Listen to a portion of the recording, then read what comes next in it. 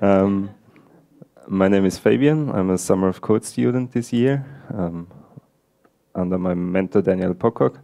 And my project was extending various um, one-time pad authentication packages in Debian to support a new kind of specification for challenge response-based one-time pads. And I'm about halfway done, so this specification is pretty much implemented in two packages. So what's left to do is finishing this implementation um, and the documentation for it as well. And the second part of my project is uh, implementing an SASL extension, which is uh, uh, in different packages using this authentication, authentication mechanism to also support a different specification for challenge response based one-time pad. But I will talk today about the stuff I did so far. So basically, most of you know what a one-time pad is. It's uh, mainly used in two-factor authentication, and there are two widely used uh, specifications for this, both specified by the same foundation. One of them is HOTP, which is event-based, um, there is a counter which gets incremented upon a successful authentication. And this counter is used to calculate an HMAC uh, hash using SHA-1, which is then truncated to display a number between six or eight digits. TOTP works pretty similarly. The moving factor is not a counter, but is derived from the current timestamp so that you can have uh, time windows and one one-time pad value is valid for one or more of these windows. So for example, you can say one pad is valid for one minute or 30 seconds. Both of these specifications are already fully supported by packages in Debian. There are PAM modules for them, command line tools, and there are a lot of hardware tokens for these two specifications. And also applications for smartphones and uh, other platforms. So OCRA, the specification that I implemented, has the same uh, principle as a foundation. So you have a hashing function. In this case, it's not limited to SHA-1, but you can also use SHA-256 and SHA-512 and you not have a single moving factor as input for which you calculate the HMAC, but you have a whole array of possible inputs. And the only mandatory input is a challenge, which comes from the other party where you want to authenticate. Yes, uh, you can do authentication in both ways. So when you want to log in at a server, um, you can send a challenge to the server. The server verifies who is, sends this back to you. you. You can check whether you're really connecting to the server you want to connect to. Then you get a challenge, and using both challenges, you calculate your own value. There is also a mode uh, for signing data or hashes of data, but I'm not quite sure whether this will be uh, ever used in a wider context because there's uh, other signing uh, concepts and technology that's a lot better in my opinion. so anyway, how does this work? Uh, as I said, we don't have a moving factor anymore, but we have a big uh, binary array of data, um, which starts with a string actually that specifies what else is contained in this binary array. Um, the two zeros over there are just a separator. And then you have the different inputs, which are just concatenated one after the other, if they are included. So the first one is a counter. It works exactly the same like in HOTP. If the authentication is successful, the counter has to be incremented server side. Um, the client always has to um, increment the counter. So as soon as the counters get out of sync, you know something went wrong, and the authentication is blocked until the counters are synced again. Uh, then you have challenge values. I will come back to that later. They are the only input that is mandatory. You can include a password hash uh, using the same three hashing functions uh, like for the OCRA value itself. And there's space for a session information if you want to include it. So for example, if both the client and the server have access to an SSL or TLS session data, you can include this in here to make the OCRA value even more resistant to tampering and replaying. And similarly to TOTP, you can also include a timestamp. Um, the window calculation works a bit differently than in TOTP because you can specify windows between one second and 48 hours, which usually doesn't make much sense, but there might be applications where this does work.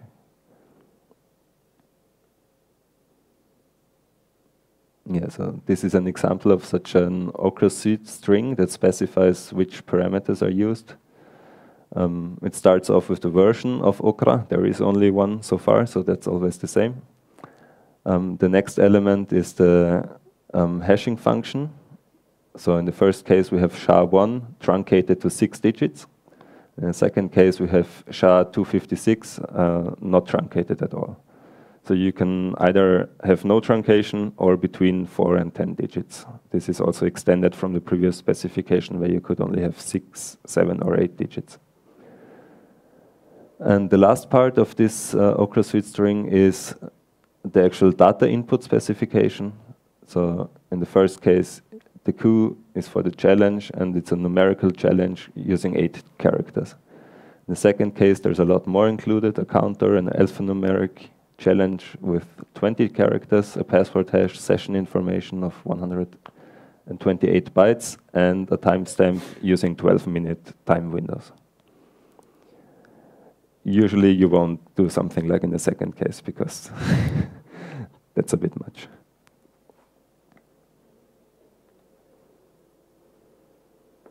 Yes, we already had that. So the challenge values can either be numerical, hexadecimal, or alphanumerical, and should be between 4 and up to 64 characters per challenge. So um, you can have either one or two challenge challenges depending on the mode. So if you have two 64 character challenges, they are 128 bytes if they're alphanumeric. So you always pad the challenge part of the data input to 128 bytes, no matter how long the actual challenges were.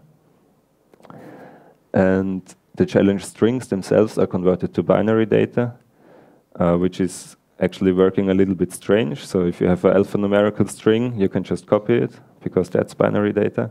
The hexadecimal um, strings are converted from hex to binary but numerical strings are not converted from base 10 to binary, but the number is converted to, to a hex string, and the hex string is then converted to binary. That's how it's in the specification and the reference implementation. It's a bit strange. Yes. So how does the actual authentication work?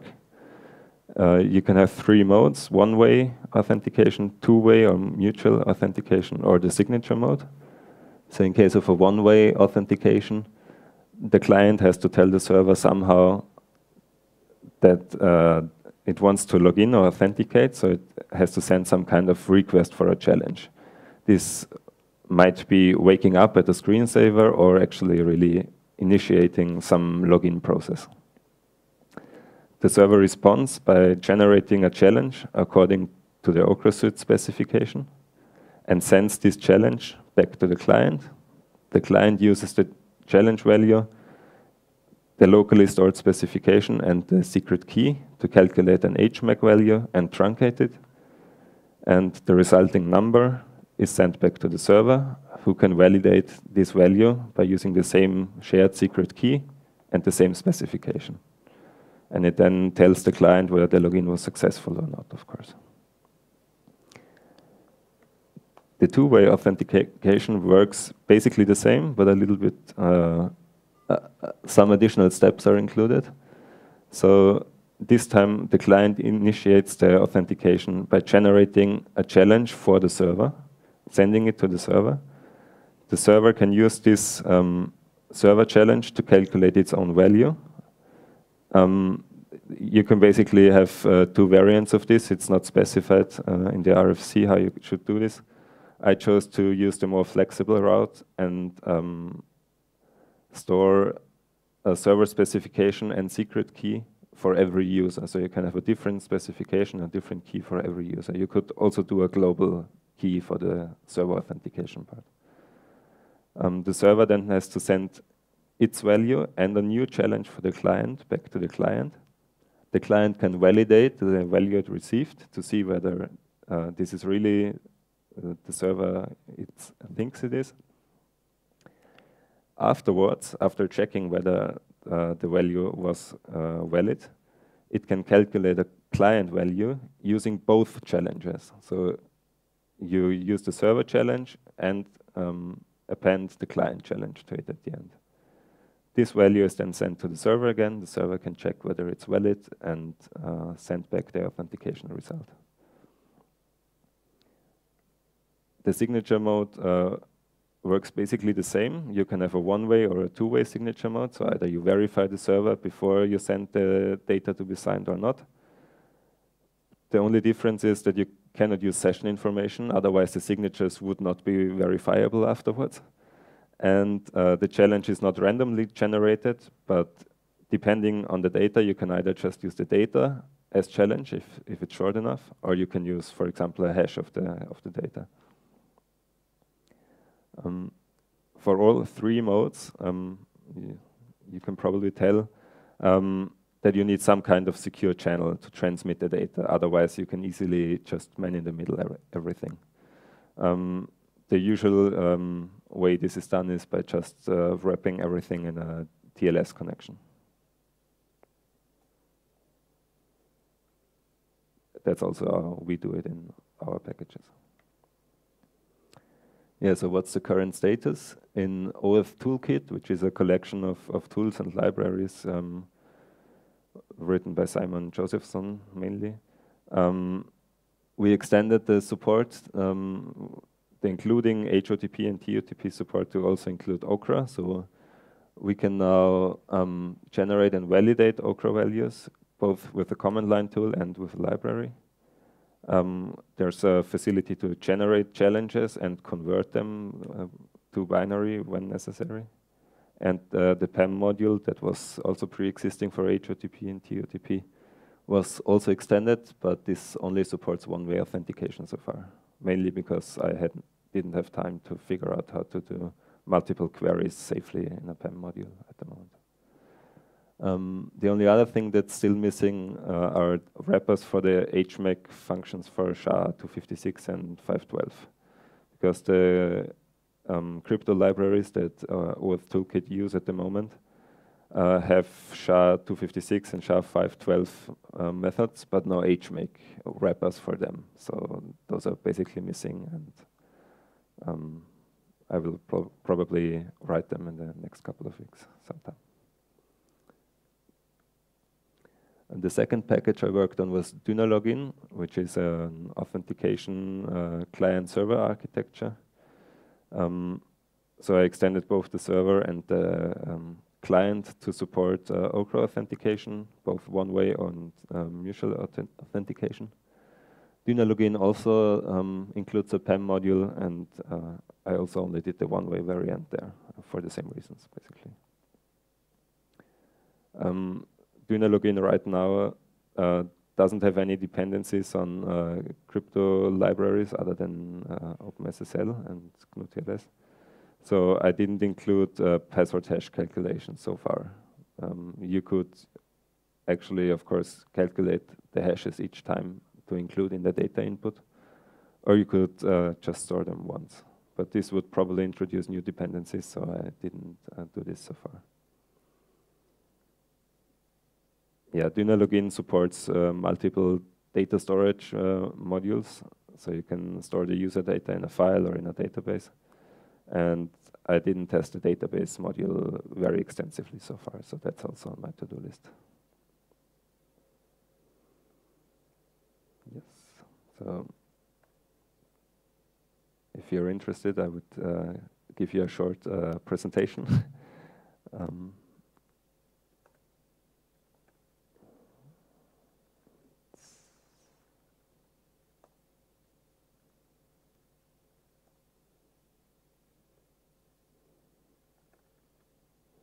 So there is also a short, a little uh, testing facility built in to Dynalogin. Yeah? Ah, of course, sorry. Um,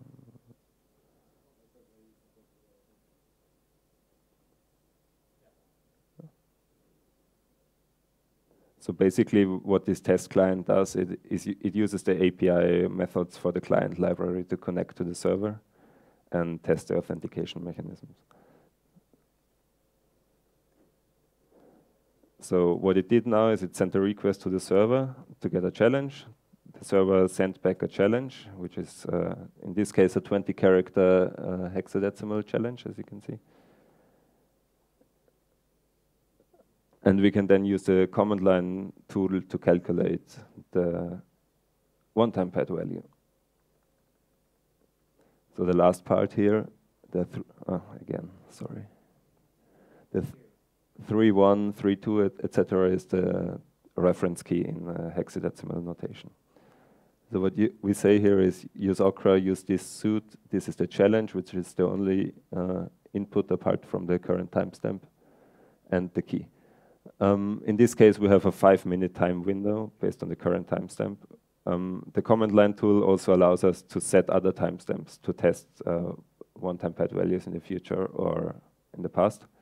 But of course, the server will only accept the valid one for the current timestamp.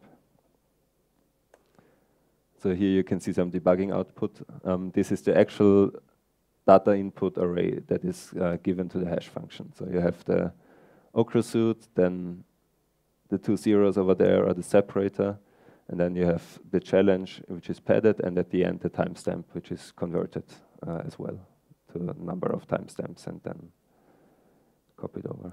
And here, you can see the generated uh, OCRA value. And if we enter this, the test client returns zero, which means the authentication was successful and the two-way authentication basically works the same. So you can enter some random challenge for the server. The server will calculate a value, which you can then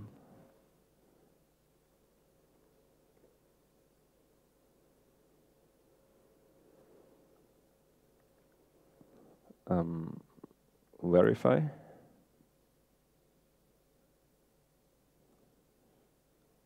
Again, the debugging output, which you can ignore, and uh, I think you don't actually see that on the beamer.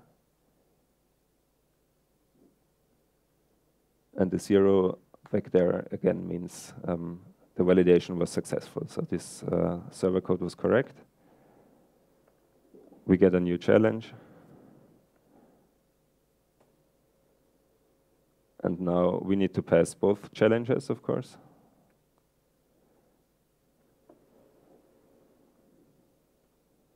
And generate a new client value, which is accepted by the server again. And of course, if you enter gibberish, it's not accepted. yeah. Basically, the PAM module uses the same API methods to authenticate with the server. Um, one of the big problems as far as um, uh, using this in, in practice uh, is that there are no hardware dongles supporting this uh, RFC as far as I know. Correct me if I'm wrong. yeah. Which is of course kind of a chicken and egg problem because the besides the reference implementation included in the RFC, I'm also not aware of any software implementations. So as long as there is no software ecosystem, there are no hardware tokens. As long as there are no hardware tokens, uh, it's kind of hard to use. So maybe this is a first step to actually push this a little further. I don't know, are there any questions so far?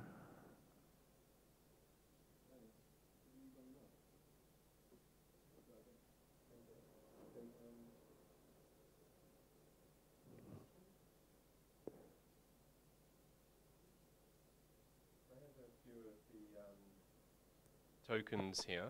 Um, so we've got a a couple of these which were um, given to us by uh, Gooze, um, and they make these available for free software developers. Um, one of them is a event-based token, so you press the button to get a token code, and the other is a um, time-based token. So when you press the button, it just shows the current token value, um, which increments every 30 seconds. Um, so I can pass these around. Uh, uh, yes, you can push the button. and then we have um, then we have another one. Who's seen these calculator style tokens before? Yeah. Most people have, have seen these already. So that's a typical two-way challenge um, device. Um, it takes a smart card um, and the mechanism is proprietary, so I, I, don't know which mechanism is implemented in, in this you know, device. Um, but sooner or later, we hope to see open and free alternatives to this that people can use. So I'll pass that around as well. Yeah, so basically that's also probably one of the reasons why it's not as widespread at the moment is that the devices for challenge response-based uh, one-time pads are a lot more complicated because you need to enter the challenges. So you cannot just have one button, but uh, if you only want one-way authentication, actually you can just have a device with one button that generates a challenge. You enter the challenge. No, the other way around. Doesn't work. I'm confused. You need a pin pad, basically, or even a keyboard if you want uh, more than just numbers.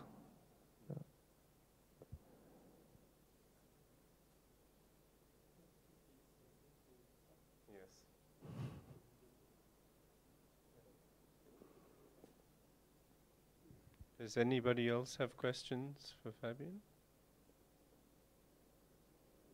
Um,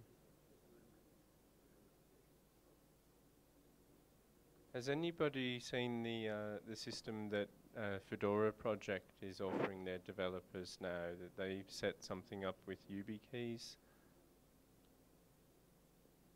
to access some of their servers and websites. Um, so there's some scope to do a similar thing for Debian infrastructure if anybody yeah, would prefer to have that type of access. Um, it, offers the possibility that people can log in from untrusted locations. Um, there are all sorts of discussions about whether you want to do that anyway, but it does give people an extra choice that instead of logging in with a password or with an SSH key, there are some situations where they could gain access to a website um, using a, a, token, either a physical device or a soft token in their phone. Even my university is offering it now to all members for their intranet access. So. And they are usually not the quickest to adopt to new technology.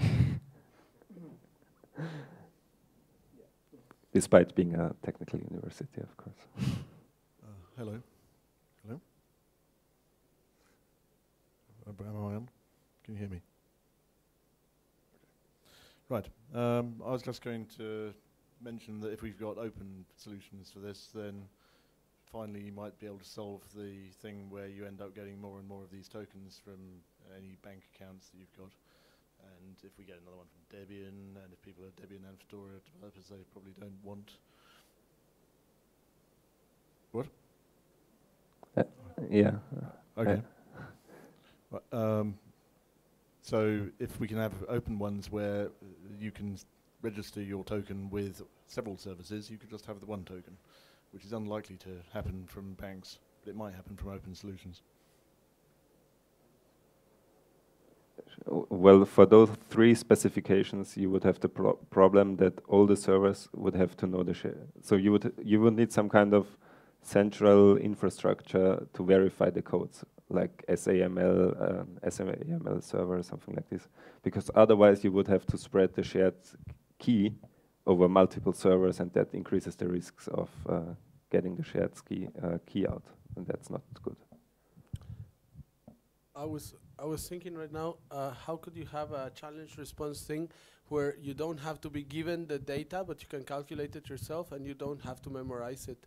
And I was thinking, what about uh, zero knowledge proof based on a hash uh, database of standardized uh, identity uh, data?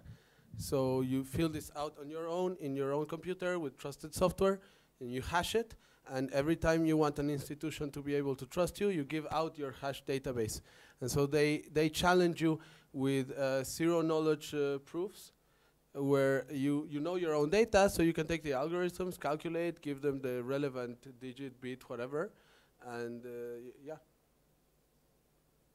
That, that for me would be a very elegant solution to this kind of thing. I don't know how secure, but uh, I- I'm pretty sure you could make it secure. Z- zero knowledge proofs have been studied, right? I'm not sure.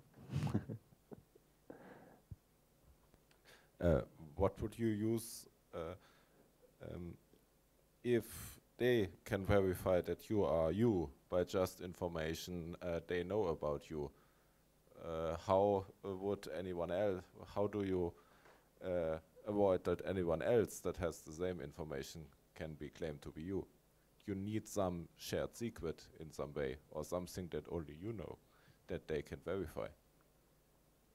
But um, usually people can find some of your data, but to, to really have like a complete, complete profile of your identity uh, seems to me quite hard. In any case, you could mix in there some data which are like uh, kind of random-ish, you know, uh, like they do now with these uh, with these questions where they, they they ask for data which is which is kind of insignificant.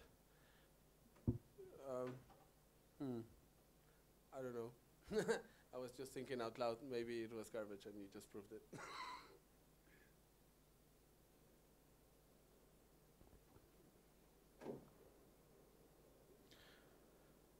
The problem with uh, insignificant data is that suddenly uh, my first school that I attended is actually a security token that people would want to steal, and sadly I've given it to lots of banks.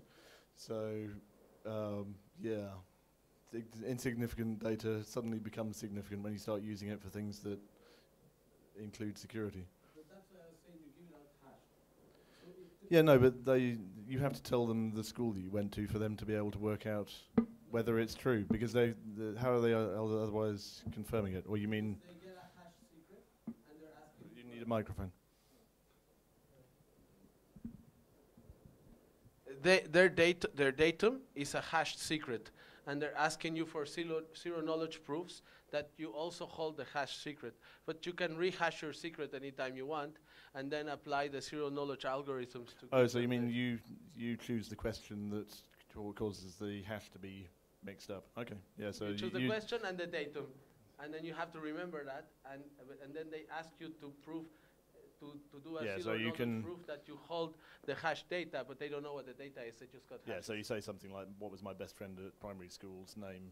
and uh, that's only on your computer. Uh-huh. and and you that- hash the secret and give yeah. them the hash secret. Yeah. Okay.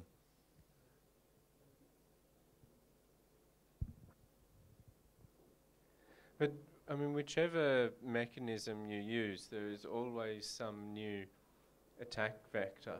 Um, I mean, and there are always going to be people with a different level of understanding of the technology. So to some extent, you know, what we have here is a good technology for people who are comfortable with how it works. But, you know, people who would be comfortable using um, PGP or smart cards um, can also use um, one-time passwords um, and can probably extend that to more people through uh, uh, soft tokens very quickly. Um, it's much faster to deploy a soft token than to deploy smart cards and help people attach things to their USB. Um, on the other hand, you know, there is uh, the risk that these tokens or the codes can be caught by a man in the middle. So if someone does capture the code and enter the code in the server faster than you can get the code to your server yourself, um, and there there is a space of a few, yeah, maybe a, se- a few seconds there where they could do that if they have some control over the network or the infrastructure, then there are ways they can attack this as well. Um, so there's no perfect security solution, but I mean, just to give one example of the things that users are exposed to in the real world, um, there's one scam that was in the papers the other day that the um, that the criminals call you, um, and they tell you that they call you like on a Sunday morning after a night out, perhaps after the Debian birthday party. Um, you get this phone call, and it's on your landline, and they say to you, "Oh, look, someone did some spending on your card last night, and and we're we're like the fraud alert service, and we want you to call your bank. So when we get finished talking to you, then you should call the number on your card and ask them to uh, help you. Um, and so you put down the phone, you you ring the number on the back of the card, um, and they ask for all your personal details. Um, and because you're worried and it's early in the morning, you just answer the questions that they ask you. What's your password? What's your date of birth? What's your first school? They might go through all these things, and because it's a, a fraud, you might be tempted to trust the fact that they're asking more questions than usual, and you actually give them more details than usual. But what's happening here is that in um, some countries, when someone calls you, like that first call, um, and you hang up the phone, they still have your line open. Again, Yes. So when you think you've put the phone down and you've picked it up again and you're calling your bank using the number on the card, they've still got the line open and they're receiving your call, the people that called you. Um, and they're, I mean, this is a very low tech way of getting data from the, the end user.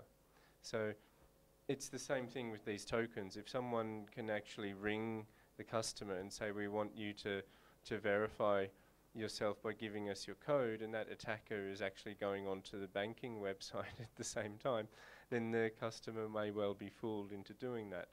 Um, so people do have to be alert to these things when they implement these solutions in practice. Yeah. Um, by the way, we used to do uh, to use what you were talking about in prank calls because peop- uh, people would, would try to hang up, but you still have the call, so they'd pick up again and you still be there. But anyway, no. Um, what I was going to say is that's why I was interested in a scheme where, first of all, you you are the one who gives something to them so they can authenticate you, and furthermore, you're not handing out the secrets. You're only you're you're handing out uh, something that's somewhere in the middle of the zero knowledge proof process. So you're handing them data which is abstract, but it's good enough for someone to verify your identity through challenge response, which is a, the basis of the zero knowledge protocol. So if it gets stolen from anyone, what do they have? They have data that allows them to verify you, but they still need, I mean, verifying you doesn't allow them to, to, to, to verify before someone else because the way the zero knowledge protocol works is uh, they, they might generate one set of challenge responses, but they can't go through the whole thing. It's uh, mathematically unrealizable. Anyway. I think I'm done talking about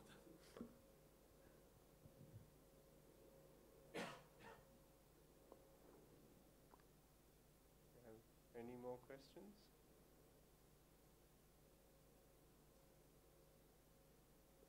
Oh yeah, if anybody wants to look at the code or play around, it's on my GitHub page at the moment.